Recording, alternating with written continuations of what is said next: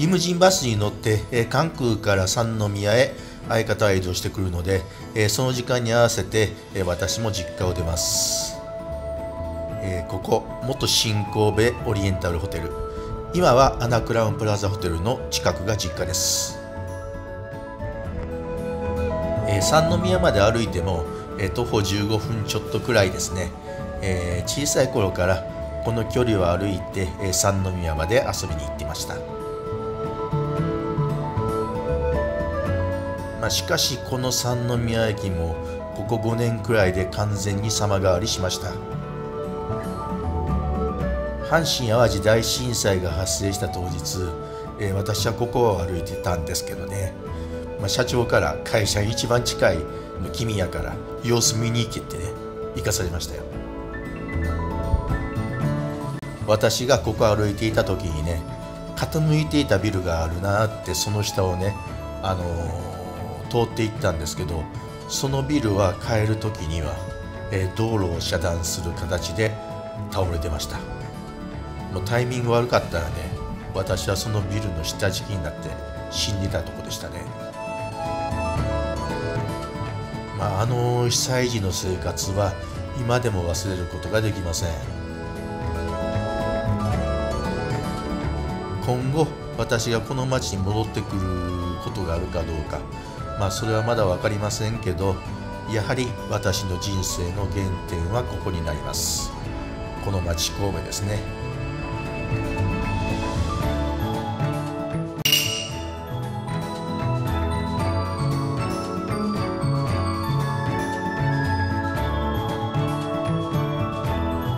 相方とねこうして神戸の街を歩くのも初めてになりますね、えー、とりあえずこの日泊まるホテルに荷物を預けて実家へ戻るといたします。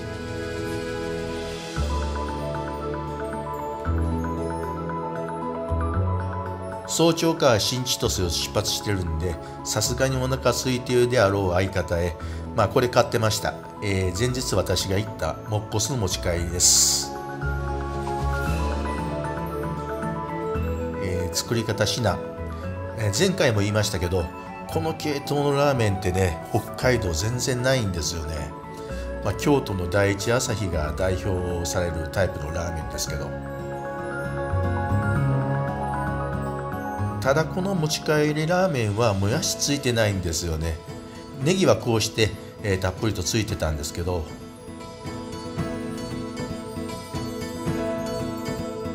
チャーシューもねご覧の通りたっぷり入っております。私が愛している神戸ソウルフードラーメン。ようやく相方にも食べてもらう機会ができました。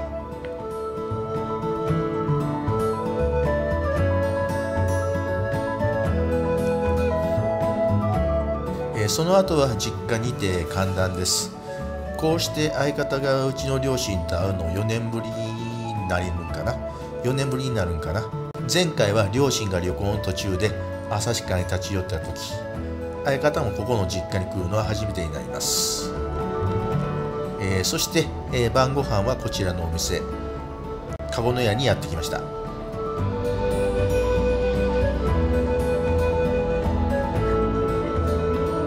しゃぶしゃぶを中心に寿司なども食べ放題、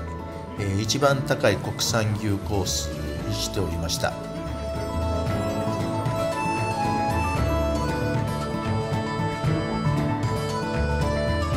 税抜きで6200円の、えー、プレミアムコースですね、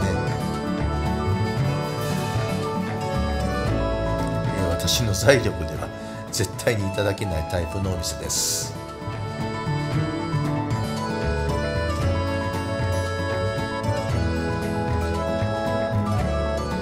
まあ、これだけ全部ね食べ放題となっております。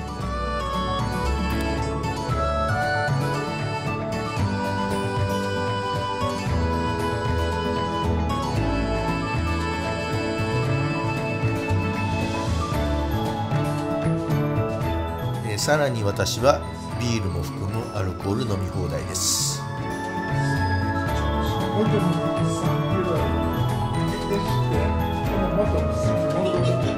大好物の寿司もねしっかりといただきます。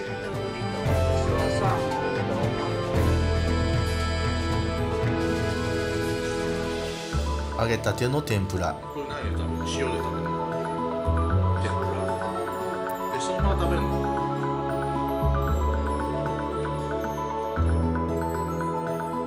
プレモルをこうして飲み放題なんて何年ぶりぐらいにこんだけ浴びるぐらい飲めるやろな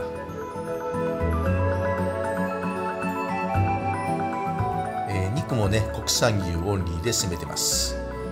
私はポン酢薬味私はポン酢で薬味たっぷりにして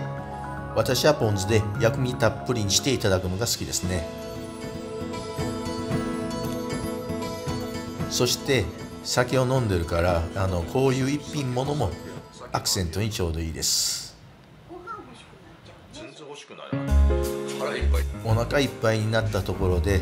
えービールの後は梅酒ロックで攻め続けました。えーサラダ頼んでましたけどこれは私は食べてないです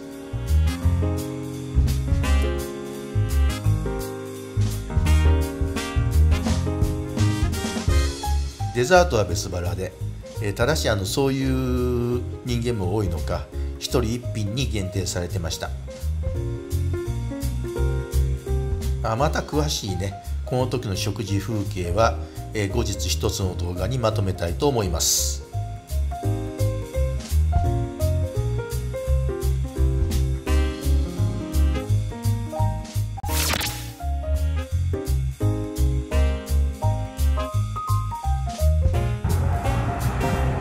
阪神電車に乗って私と相方は春日の道から三宮へ移動です。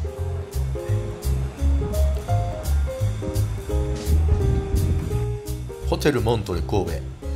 相方大好きこのホテルチェーンですが破格値でプラン出してたんで即予約しました。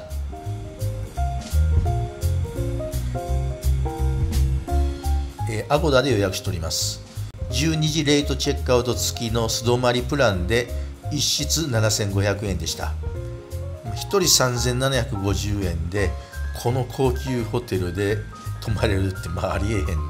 プランですよね。まあ日曜日っていうのもありましたけどね。部屋はツインルームです。それにここ神戸のモントレはえまだまだ築浅なんですっごく部屋綺麗ですね。ただあの現代的な洗練された感があってあのモントレの重厚感は少しないかなと思います。またちゃんとしたホテルレビュー動画は後日落ち着いてから編集します。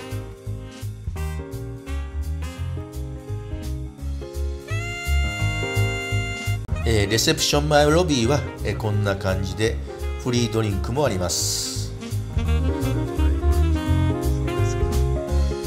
でさらに大浴場もあるモントレです。でだけどねあの夜のクローズが22時半とめっちゃ早かったんで私は飲んで帰ってねあの時間ちゃんと見ておらず逃してね浴場に入りました、えーこれでね最初の目的であった相方と両親を合わすミッションも達成しました。ここからは相方と2人旅にしばらくなります。次回の動画に続きますね。